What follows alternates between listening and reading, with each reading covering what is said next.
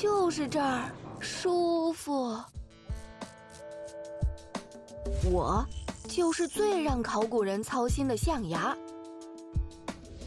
怕我坏了，让我吹空调、住冰箱。最近他们又开始发愁，我到底从哪儿来？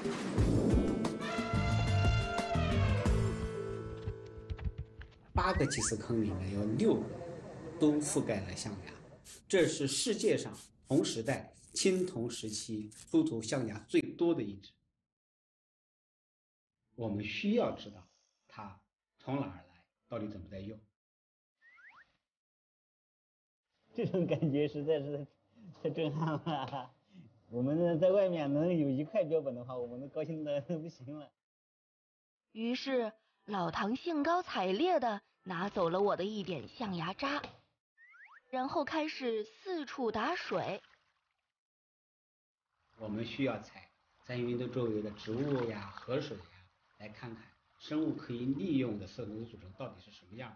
我们就是从三星堆的象牙中分析出它的锶同位素的组成，来看看它和我们已经知道的全国的底图来比较一下，它可能来自于哪一个地区。哎呦，没想到在各地吃了啥、喝了啥。都默默在我们身上留下了独特的印记，但是都过去三千年了，现在的水草环境和我们那时候的一样吗？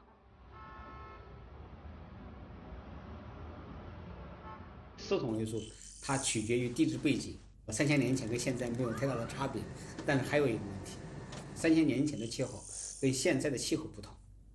呃，养同位素特别容易受到气候的影响。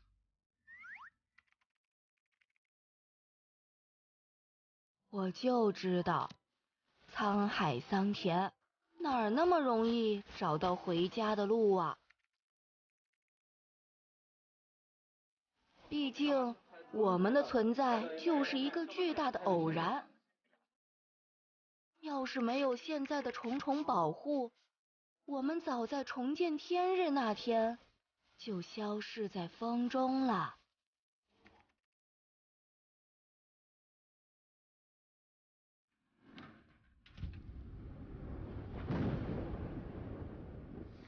幸运的是，中国的南方有着大量的石笋，它是通过大气降水经过土壤，然后进入到的信号。十几万年里面变干变湿持续了多久？这些我们都可以从视频记录当中看到。了不起，这可真是见微知著。这个实验做完了以后，我们最核心的四统位素数据呢就可以全部拿到。如果它来自于四川的本地的话，我们就可以合理的去理解三千年前。当地的气候背景是什么样？它有什么样的气候条件能够支持这么多头大象的生活？如果来源于四川盆地之外，我们更关心三星堆对周围的影响。看来我的寻根之旅已经胜利在望了，老唐，继续加油吧！